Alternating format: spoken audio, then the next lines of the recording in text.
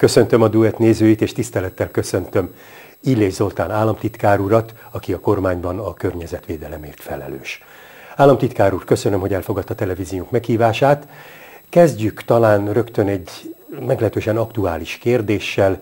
Jönnek az enyhébb napok, legalábbis remélhetően, és ez azt jelenti, hogy a nagy mennyiségben felhalmozódott hó, az bizony országunkban is és környezetünkben is erőteljesen olvadni kezdett.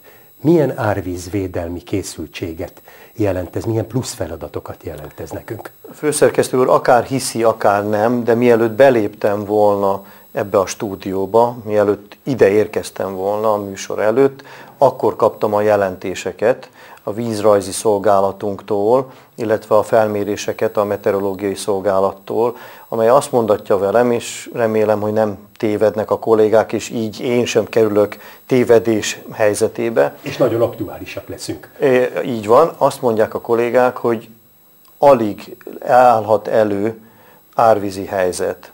Tehát nagy árvízre a szakemberek egyáltalán nem számolnak, esetleg vízszint emelkedésekre és egyes helyeken, de olyan mértékű asszályra számítanak és szárasságra számítanak, hogy azt mondják, hogy ha most az olvadás mellett még nagymértékű esőzések érintenék hazánk egyes részeit, vagy az egész mhm. országot, akkor is a talaj képes lenne fölszívni az esővizet, a legjobb tározó természetesen a talaj, sőt olyannyira, hogy például a belvízi problémák, ami azt jelenti, hogy a talajvízszint fölemelkedik, egyáltalán nem kell számítani.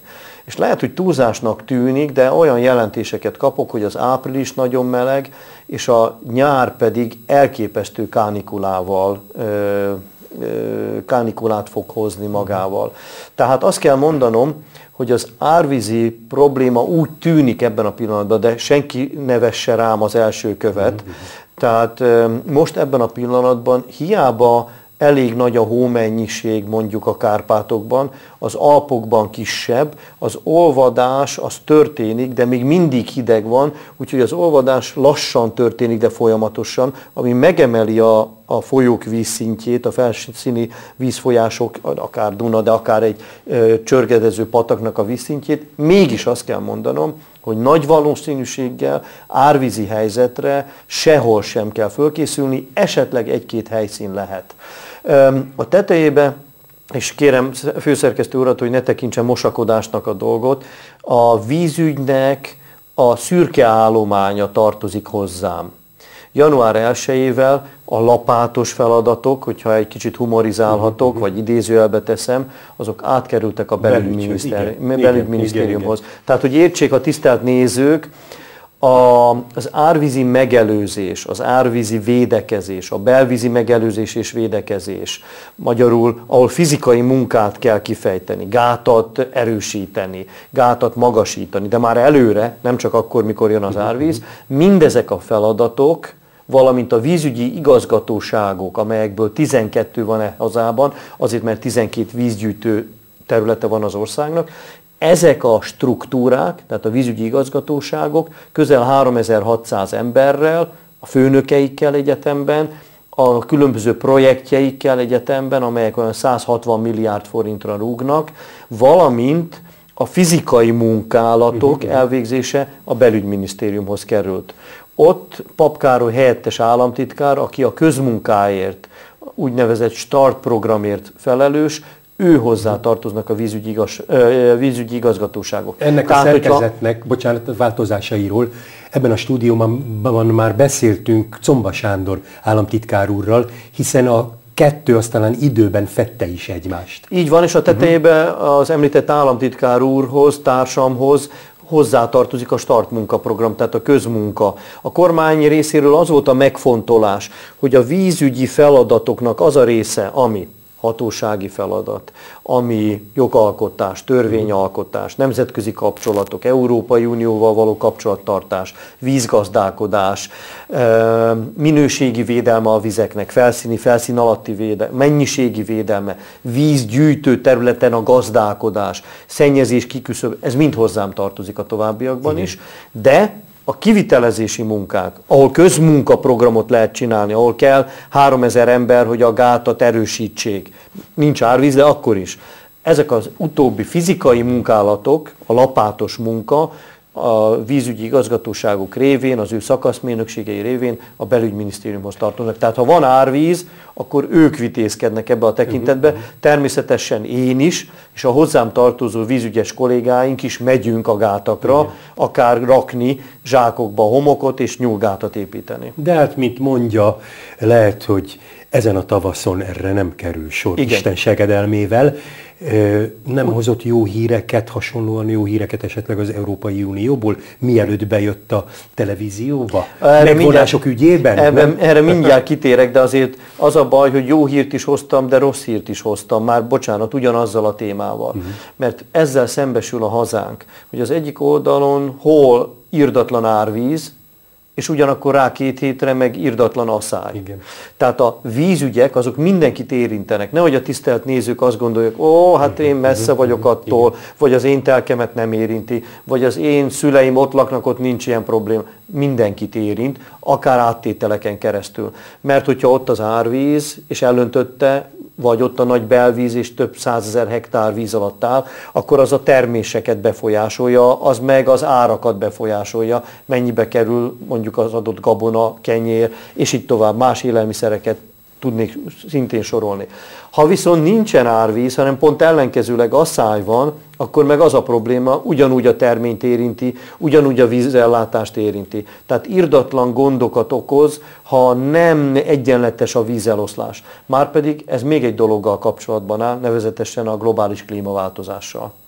Tehát megint csak azt mondhatja bárki magyar állampolgár, ugyan, hát az az amerikaiak problémája, meg Kína füstöl itt nagyokat, meg széndiokszid kibocsát, mi közöm nekem hozzá. De minden nap, minden cselekedetünkkel megvesszük a sárgarépát, amelyet 1800 kilométerről hoztak ide. Mert Magyarországon sajnos nincsen ilyen termelés, ami egy nagy gyalázat. Vagy nem makón termelik a hagymát, hanem Kínából szállítja ide, de amikor én megettem, én a fogyasztó hozzájárultam ahhoz a széndiokszid kibocsátáshoz. Vagy elviszem a gyerekemet iskolába, de hogyan vinném másképpen, meg olyan rendes gyerek, apa meg nagyon szereti, tehát beültetem a mhm, kocsiba és elviszem. De azzal az autóúttal is, amit én megtettem, nyilvánvalóan segítő jó szándékkal, értető módon, de széndiokszid kibocsátáshoz járultam hozzá. Tehát nincs olyan kicsiny emberi cselekedet, amelynek ne lenne környezeti hatása, és nincs olyan kicsiny emberi cselekedet, amelynek ne lenne értelme esetleg a környezet védelme érdekében.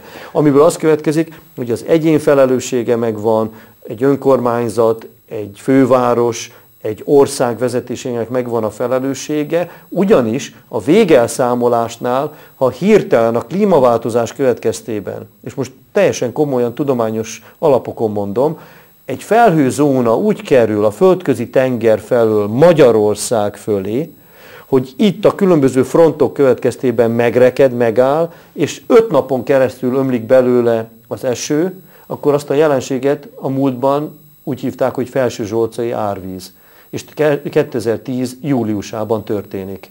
Ami azt jelenti, hogy ott több mint 10 milliárd forintot kellett az államnak arra költenie, hogy egy Bódva nevű kis patakocska, amiben jelen pillanatban alig csordogál bármi, 50 cm széles és a mélysége 30 cm, gátat nem lehet köré építeni, mert nem csak, hogy nincs hely, hanem teljesen abszurd a dolog, de úgy változtak meg a beépítettségi viszonyok azon a környéken, bevásárlóközpontok, autópálya teste, az egész térségben a vízlefolyásokat befolyásolták, mezőgazdasági termelés, utaképítése, települések bővülése, hogy nem vették figyelembe azt, hogy a víz bizony jön, és megtalálja magának az útját.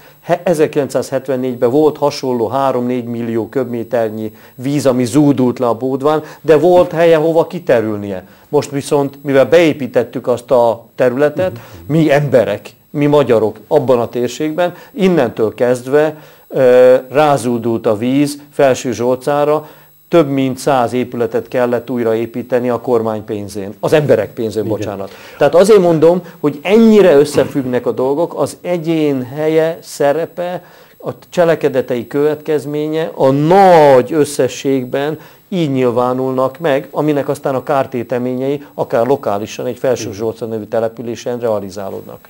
Amikor az egyén felelősségéről beszél, például azzal a nagyon szemléletes példával élve, amikor az apa beülteti a gyerekét az autóba és elmegy az iskolába, óvodába vele, és hát bizony szennyezi a környezetét, erről jut eszembe, hogy bizonyos környezetszennyezési kérdésekről én mindenképpen az interjú vége felé akartam beszélni, de akkor engedelmével itt tenném fel azt a kérdésem, hogy... De főszerkesztő úr, ezt a példát ö, még egy kicsit hadspékelje meg egy mondat erejéig. Államtitkár úr, maradjunk abban, hogy szerkesztő, mert amikor mi ö, pályán kezdetén voltunk, akkor én valóban főszerkesztő voltam, most maradjunk csak úgy szerkesztő. szerkesztő Egyszerű úr, szerkesztő. Szerkesztő úr, akkor a következő hogy nehogy valaki a tisztelt nézők közül azt gondolja, hogy én most itt átkoztam azt a fantasztikus cselekedetet, hogy egy szerető szülő a gyerekéért mindent megtesz. E, és persze bárki kérdezné, hogy lehetne ezt másképpen megcsinálni. Ugye e, az iskolába el kell jutni. Azt kell mondanom, hogy a távolságok, amelyeket megtesznek az iskoláig, persze van kivétel, azok pár kilométerek mindösszesen. Igen. Tehát akár a tömegközlekedés egy főváros esetében, vagy egy nagyobb település esetében, főleg, hogyha a gyerek nagyobb és elmehet egyedül, vagy egy bicikli közlekedés, de ott is megvan a veszély az utcai forgalom kapcsán. Tehát aki azt állítja a környezetvédelem területén, hogy tökéletes megoldásokat tud mondani, az hazudik. Én csak azt állítom, hogy a környezetvédelmi szempontok figyelembevételével csak rossz, vagy még rosszabb megoldások vannak, akár az egyén szintjén. És józan paraszt észre az ember nem a még rosszabb megoldásokat választja, hanem amikor, és ebben az esetben, amikor nem kell, akkor feleslegesen nem használom például az autómat. De amikor vettünk egy hűtőszekrényt, akkor nem fogok bérelni egy kis kamiont azért, hogy hazavigyem, hanem akkor legfeljebb azt teszem, hogy mégiscsak betesszük a hátsó fertájába a kocsinak, és hazavisszük. Tehát a racionalitást Igen. említem itt. De annyi emberi cselekedet van, hogy ezer egy teendője van az egyénnek is, természetesen egy fővárosnak is, természetesen egy kerületnek is, és természetesen egy ország vezetésének is, annak érdekében, hogy kumulatíve, összegződésképpen kisebb legyen annak az országnak, annak a néptömegnek a környezeti lábnyoma, az ökolábnyoma, a környezeti terhe, mert ez minnyájunk érdeke és haszna, akár átételeken keresztül.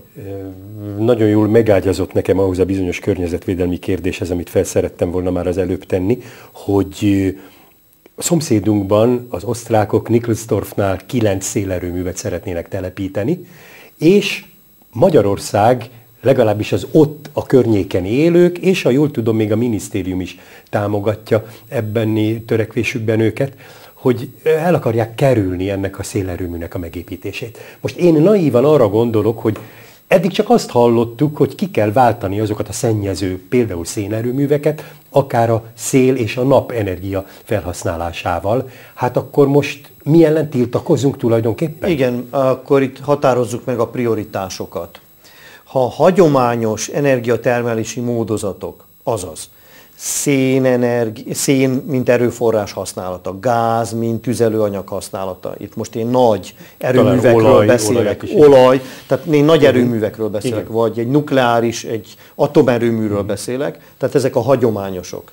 Tehát, hogyha a hagyományosokat összehasonlítom a megújulókkal, szélenergia, napenergia, geotermikus energia, bárhogy is álljon ez a világban, tehát a megújulók helyzete, összehatonosításképpen azt kell mondanom, hogy mi a megújulókat támogatjuk. Ez nem azt jelenti, hogy nincs létjogosultsága egy nukleáris erőműnek, főleg akkor, hogyha már 30 évvel ezelőtt megépítették, és az ország villamos energiája igényének közel 40%-át adja. De akkor miért tiltakozunk most? Bocsánat. De hogyha tovább megyek, és azt mondom, hogy a megújulók, vagy a természet megőrzése, a sokszínűség megőrzése akkor viszont ez utóbbinak, a természeti sokszínűségnek van prioritása előnye. Tehát az a kérdés, hogy hogyan hasonlítom össze, most mondtam, hagyományos vagy megújuló, akkor a meg, megújulókat preferáljuk. Ha viszont biodiverzitás, természeti sokszínűség, a természet megőrzése vagy a megújulók, akkor nem a megújulókat támogatjuk, hanem a természeti sokszínűséget. Fölmerülhet az a kérdés, hogy miért. Ezt Azért... szerettem volna kérdezni, hogy a madarakat védjük-e, vagy az embert védjük-e azzal, hogy szénerőmű helyett szénerőmű helyett szélerőművet alkalmazunk. Az embereket védjük mind a két esetben. Uh-huh. Méghozzá a következőképpen. Ha belegondolunk, a természet köszöni szépen jól megvan nélkülünk is. Ugye? Addig jó, amíg nem avatkozunk be. Hát pontosan. Igen. Tehát a természetnek mi nem számítunk. Nekünk számít a természet. Már hogy? Hát, hogyha nincs az erdő, mert kiirtották, akkor nagyon boldogtalanok vagyunk. Mit ér a szép nyaralunk ott valahol az erdőszélen, ha fölötte az erdőt letarolták tarvágás? Mert így van? Igen. Igen. Vagy, hát mit érünk akkor, hogyha nincs tiszta ivóvíz? Tudunk élni? Nem. A gazdasági termelést meg tudjuk valósítani? Csak egy banalitás, uh-huh. mondjuk üdítő italhoz, de akár egy sörgyártáshoz, ha nincs tiszta ivóvíz. A... De az összes többit, az állatainkat nem tudjuk etetni, itatni, hogyha nem tiszta a víz, ha szennyezett a talaj, mondjuk kemikáliákkal. Ugye így van? És akkor a madár fütyről még nem is De beszéltünk. Bocsánat, ez azt jelenti, hogy a természet, köszöni szépen, megvan nélkülünk. De mi, nem, mi nem vagyunk Igen. meg a természet nélkül. Márpedig, hogyha beépítjük az összeset, ha tönkretesszük az összeset, ha elszennyezzük az összeset, akkor a végén mi van? Hát saját magunkat tettük tönkre. Tehát ezért van, hogy természetvédelmi zónákat, területeket jelölnek ki. Nikkelsdorf térségében, de még a magyar oldalon, ott olyan természeti környezet van, ahol Európa szintű védelem alatt áll, az a Natura 2000-es kifejezés azt illeti, hogy az Európai Unió követelménye volt, amikor országunk tagja lett az Európai Uniónak, és minden országban az Európai Unió megköveteli, hogy bizonyos százalékát az országnak az adott ország tudományos alapokon jelölje ki védett területté. Na most, Magyarországon, mi a középmezőnybe tartozunk, 19% az országnak Natura 2000-es terület, azaz védett terület. Miért? Mert ott olyan növényfajok, olyan állatfajok, madárfajok, olyasmi található, ami sehol másút nem található. Itt például túzok, egy olyan madárfaj, ami gyorsan fut, a földön jár, bizonyos mértékig tud repülni, de nagy testű és nem nagyon tud repülni. Ez nem magasba repül föl, tehát itt nincs az a probléma, hogy valaminek neki ütközne ez a Hogy a szélerőműnek esetleg. Igen, ez egy igen. urbánus legenda, ez egy uh-huh, baromság, igen, igen, igen. hogy majd neki ütközik a szélerőműnek. Nem ez a probléma. Ha ennek a madárnak az élőhelyére egy tyúkólat építenek föl, egy fa WC-t építenek föl, bármit építenek, a zavarás az etológiai tudomány, tehát az állat magatartás tudománya szerint maga az a tény, hogy a területén valami ott van, ami nem volt ott eddig, ez a zavarás arra készteti ezt a madárfajt, hogy elvonuljon arról a területről. Persze bárki mondja, hogy menjen ahova akar. Adunk neki 10 forintot, és a sarki ABC-ben vagy, vegyen magának egy kis kaját, ha szabad itt humorizálnom. Nem így működik. Tehát megmaradt fragmentáltan, nagyon szűken szabottan egy olyan élettér, ahol ez a madár meg tud élni. Mondom, ez egy földön futó igen, leginkább. Igen. Madár meg tud élni, egy nagy testű madár. Ehhez képest, ha a közelében zavarás van, a területe közelében zavarás van, ez elhagyja az élőhelyét, de másút nem talál magának megfelelő élőhelyet. Nincs meg az a táplálék, nincs az a búvóhelye, nem hoz utódokat létre, és olyan kicsi a populációja, hogy már egy ilyen új helyzetben a pusztulás felé megy ez a faj. Persze mondhatná bárki, ugyan államtitkár úr, hát pusztuljon el, mit számít ez? Nem oda Buda. Mert minden nap több tíz állatfaj tűnik el a föld színéről, így Magyarország területéről is tűnnek el állatfajok, pontosan azért, mert odaépítették az autópályát, odaépítették a házakat, odaépítették a gyárat. Megint fölmerül az a kérdés, hát nem az embereket kell, hogy szolgáljuk. Dehogy nem. De itt kell azt az egyensúlyt megtalálni, hogy hiába építettük fel az autópályát, az autóutat, a gyárat, a települést, amikor olyan környezetet teremtünk, amiben nem lehet élni nincs tiszta ivóvíz, tönkretettük, nem zöld a terület, nem lehet benne élni, stresszes környezet. Tehát azt kell megőriznünk, azt kell megtalálnunk, hogy hogyan megőrizni a természetet a mi számunkra, de ugyanakkor nem ellehetetleníteni az emberi létalapokat. Tehát, hogy azért ott meg lehessen élni. Tehát ott a környéken például, magyar területen, a települések arra panaszkodnak, hogy hát természetvédelem miatt ők nem tudnak fejleszteni. Ez a Natura 2000. Igen, igen, igen, igen, de most magyar oldalról igen. beszélek. De buták a települések, ugyanis pont a védett terület kapcsán pályázhatnának olyan projektekre, irdatlan pénzeket tudnának lehúzni az Európai Unióra a szó jó értelmében. Tehát a nemzeti parkjaink, amelyek ilyen projekteket most futtatnak, csinálnak, 100 milliós nagyságrendben szereznek Európai Uniós pénzt, mert pont a védett területek föntartása, bemutatása, munkahelyteremtés, vízkormányzás, minden másra lehet pénzt kapni. Tehát a Natura 2000-es terület az nem hátrány, hanem ilyen formán előny. Na persze, nem űrkikötőt kell odaépíteni, vagy nem azt a bódét fából, most itt megint túloztam, hanem olyasmit, ami összhangban áll ennek a területnek a védettségével. És a szélerőmű, meg bocsánat, Igen? az osztrák oldalon épülnének ezek a szélerőművek, Igen. a tetejébe nem natúrás területen, akkor már vissza is vontam a kérdésem. Ezt Tehát kérdeztem, osztrákok... hiszen összeér szinte a két terület. Így van. Egyik Natura 2000, másik nem. Ezek Így szerint. van, de aha. a másik nem Natura. Aha, aha. Mi azért aggódunk, hogy a nem natúrás, saját osztrák területen megépített szélerőművek eredményezik azt a zavarást, amely mondjuk ezeket Ami a... miatt a túzok tovább áll. Így van, ugye? és innentől Jó. kezdve az a terület egyfajta pusztulás irányába megy el. Tehát mi azt mondjuk az osztrákoknak, egyetértünk a szélerőművel. Mondtam önnek a prioritási listát. Egy kicsit vigyék arrébb. Vagy ott akartak nem 9-et, most 9-et, de összességében 250-300 szélerőművet akarnak építeni. Uh-huh. Ez csak egy stádium, és ez a 9 van legközelebb a magyar határhoz, másfél kilométerre van a határhoz, ezért kell nekik többek között közmeghallgatást tartani, ez zajlott most a magyar területen ott a közelben, ugyanis az ESPOI egyezmény előírja, hogy a szomszédos országoknak, ha beruházni akarnak a határzónában, bizonyos távolságon belül, akkor a másikat be kell vonni ebbe a folyamatba. Ez olyan, mint hogy én nem építkezhetek nyakra főre a szomszédom Így van, ugyanez. Nélkül. Tehát amit ön most kicsiben mond, ez hm, történik nagyban két ország között, ezt rendezi egy ESPOI egyezmény, ESPO az egy település, ott kötötték meg ezt az egyezményt, Ausztria és Magyarország is aláírta ezt az egyezményt, az osztrákok így kérdeznek bennünket, az osztrákoknak kötelező bennünket kérdezni, de az osztrákoknak, mint mindenki másnak, nem kötelező figyelembe venni egy másik szuverén ország álláspontját.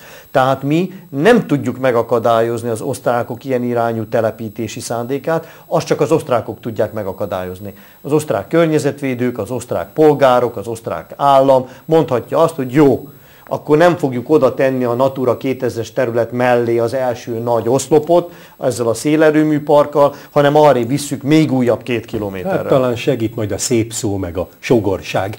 Maradjunk ebben. Meg hát azért az osztrák embereknek is az igénye, mert hmm. ugye ez a természet hiába van a határ másik oldalán, Hát az nem úgy van, hogy húztak egy piros vonalat, vagy építettek egy kerítést, uh-huh. és aztán a madár se repül át a másik oldal. Pont ellenkezőleg. Mi emberek csináljuk ezeket az emberi butaságokat, a határokat, meg az elválasztást, miközben a természet az egy és egységes. Ha itt elpusztul, neki is elpusztul. Államtitkár úr, van még néhány olyan téma, amiről mindenképpen szeretnék önnel szót váltani, de ha az órára pillantok, akkor látom, hogy a műsoridőnk bizony jócskán elszaladt, úgyhogy kérem, hogy tegyük meg azt, hogy én felteszem a kérdést, és amit a legfontosabbnak tart, azt mondja el, mert meglehetősen Helyes, fontos de van még egy módszer, szerkesztő úr. Igen, hogy legközelebb. Újból amikor, ajánlom magamat. Mm, én nagyon szeretném ebben a műsorban például tisztázni azt, és azt hiszem, ez szívéhez közel áll, mi történik az ős dráva programmal, hiszen annak az atya, hogy azt mondjam, Tiffán Zsolt, ő most a Baranya megyei közgyűlés élére került. Nem lesz semmiféle változás az elhatározott tagban? Nem, de akkor tisztázzuk a nézők előtt, hogy miről beszélünk. Dráva, hazánk déli része, miért ős dráva? Azért, mert az a vízfolyás, az a folyó, az másképpen folyt az elmúlt évszázadokban, már úgy értem, másképpen kanyargott, aztán emberi munkával átalakították ott a kanyargóságát, és az ősdráva program meg arra irányul, hogy Európai Uniós pénzekkel, meg magyar pénzekkel azokat a területeket újból vizes területekké alakítani. Ugyanis a legértékesebb területek természetvédelmi tekintetben azok, ahol a víz meg a szárazföld összeér Komolyan. Tehát ott legnagyobb a sokszínűsége a természeti környezetnek, állat és növényfajokban. De ezt most csak úgy lehet megcsinálni, hogyha a régi csatornákat, a régi mellékágakat kiássák megint, ez közmunkát jelent, ez munkahelyet jelent, és nem csak kézzel való ásást jelent, gépi munkát is jelent. Tehát amikor Tifán úr fölvetette ezt a dolgot, akkor őt legalább három dolog motiválta. Egy munkát teremteni azon a környéken, ugyanis ott az ormánságban Igen. elképesztő munkanélküliség van. Szegény magyarok és szegény cigányok tömegei. És itt ezzel a földmunkával, sok földmunkával munkát lehet nekik adni, akár közmunkát. Kettő. Miután ezeket egyszer majd megépítik, csatornákat vezetik a vizet, azt fönn kell tartani. Tehát továbbra is munkahelyek a tetejében olyan termelést tudnak csinálni, amely pont ezt a vízet használja öntözésre, mezőgazdasági termelés, vagy mindenfajta más dologra, növénytermesztés, gyümölcstermesztés, amihez víz kell, tehát ez volt a második. A harmadik, természeti gyönyörűséget hoz létre, visszaállítja a korábbi állapotot, ami újabb turistákat vonz, mert egy olyan gyönyörű helyre azt mondja, oda megyek, és ott fogok nyaralni, és csend van, és gyönyörű az égbolt, mert semmi nem zavarja, a fények nem szennyezik. Tehát oda megy, de akkor ott lakik, akkor szálláshely kell, ott kell a bécsi szelet, ott kell megves, megvásárolni a szolgáltatásokat. Tehát azzal, hogy ő egy ilyen projektet csinál, az ormánságot, csúnya lesz a szó, revitalizálja erről szól, hogy a természetvédelmi érdekeket munkahelyteremtéssel, turizmussal összekapcsolja. Amikor elindult az ős dráva program, akkor nekünk szerencsénk volt ebben a stúdióban Tiffán Zsolt urat is köszönteni, és ő már vázolta Igen. azt tulajdonképpen, hogy mit is jelent az ősdráva program. Minden esetre megnyugtatták azt hiszem nézőinket is, államtitkár úr szavai, hogy ez változatlanul megvan. Így van. De ahol még meg kell nyugtatni embereket, az például Balatonföldvár, ahol a szabad strandon, a gyönyörű ősfás szabad strandon ott vitorlás kikötőt szeretnének építeni, ami miatt meglehetősen nagy ö, lakossági tiltakozás van most éppen folyamatban. Mi az ön véleménye erről? Nem támogatom ennek a, a kikötőnek a megépítését. Itt látni kell azonban, hogy ellenérdekelt felek elég erőteljesen megjelentek. Hát például egy önkormányzat Ami lehet ellenérdekelt, az, a lakók nem akarják, a nyaralók nem akarják, na na, hiszen ott volt a gyönyörű strand, ott voltak, ott fürödtek, a környéken ott vannak a házaik, a nyaralóik, ehhez képest akár helyben lakó emberek, akár ideiglenesen nyaralni járnak oda. Nyilvánvalóan azt a gyönyörűséget akarják megőrizni. Igen. Azért mentek oda, vagy örülnek, hogy ott laknak egy ilyen helyen, eleve ott születtek. Nem arra számít, hogy most azt szétbarmolják pestiesen szólva, és akkor most ott Persze. vitorlás kikötő lesz, újabb, miközben már van vitorlás kikötő elég, akár Balatonföldváron is, akár másutt is. Tehát százszónak egy a vége, nagyon határozottan ellene vagyok ennek a kikötőépítésnek, de egy baj van, nem velem, meg nem ezzel az állásponttal. Az előző kormány időszakában mindenfajta engedélyeket sundán-bundán kiadtak nekik. Vagy nem sundán-bundán, mert törvényesen minden, de kiadták nekik, jó lobbiztak az akkori döntéshozók ott helyben, és kiadták az engedélyeket. Tehát jelen pillanatban vajmi kevés esélye van, hogy egy ilyen szándékot, ha azok meg akarnak valósítani, meg lehet akadályozni. De pont átnézettem az illetékes felügyelőségünk igazgatójával ezt a dolgot, és nem árulom el most sem önnek, sem a nézőknek, legyen az én titkom, mégis találtunk egy eszközt, hogy hogyan tudjuk megakadályozni. Mindenképpen tehát meg innen üzenem, hívni tehát innen, innen üzenem mind a polgármesternek, aki hallja, adja tovább, most itt viccelek megint, Persze. egy kicsit túloztam, de mindent el fogunk követni annak érdekébe, hogy ne tudják megépíteni azt a kikötőt. Mert én meg úgy vélem, hogy az szolgálja Balatonföldvár érdekeit, az szolgálja az ott élő emberek érdekeit, és az ott nyaralók érdekeit, ha nem lesz újabb ö, kikötő, hanem megmarad az a strand úgy, ahogy azt eddig is használták az emberek. Még néhány embert önnek meg kell nyugtatni egy másik témában hogyha jövünk vonattal szinte bármelyik pályaudvarra Budapest felé, akkor már a főváros területén különböző szeméthegyeket, síthegyeket lehet látni.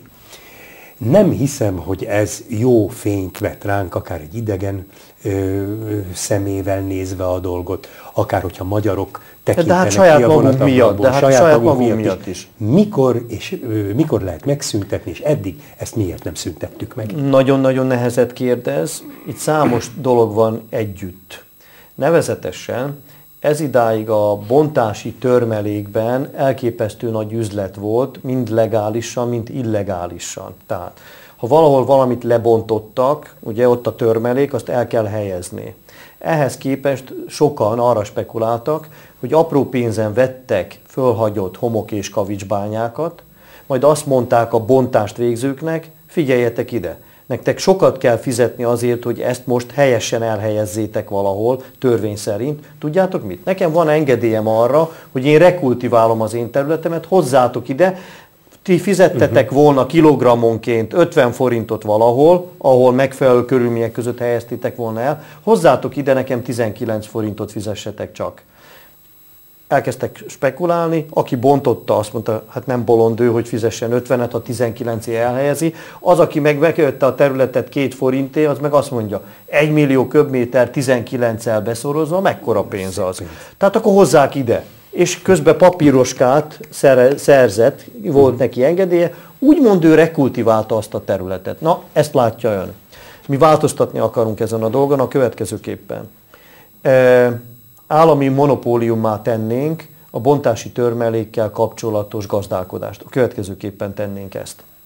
Fölépítünk állami pénzen olyan lerakóhelyet, Budapest 60 km sugarú körzetében, ahol fizetünk azért, hogy ide hozzák ezt a bontási törmeléket, de nem 19 pénzt, hanem sokkal többet fizet, mi fizetünk uh-huh, érte. Uh-huh. Tehát senkinek nem fogja megérni lerakni ide vagy oda, kevés pénzzel, vagy, mert mi fizetünk érte. Ki az a mi? Az állam. Miből fizetünk? Abból a termékdíjból, ami évente 60 milliárd forint generálódik a magyar kormány számára.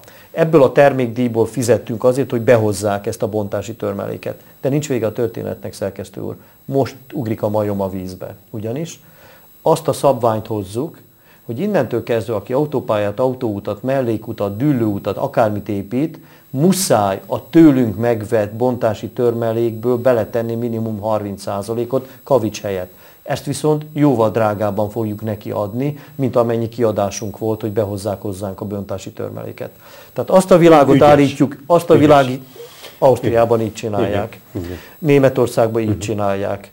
Tehát azt a világot állítjuk elő, hogy regulázzuk az egész tevékenységet, tőlünk kell megvenni magasabb áron, betiltjuk a kavicsnak a beletételét az autó alapba 30% erejéig, ehhez képest fizetünk azért, hogy behozzák. De többet fizetünk, mint amennyit most a piacon kapna azért, hogy illegálisan vagy vélegálisan elhelyezze.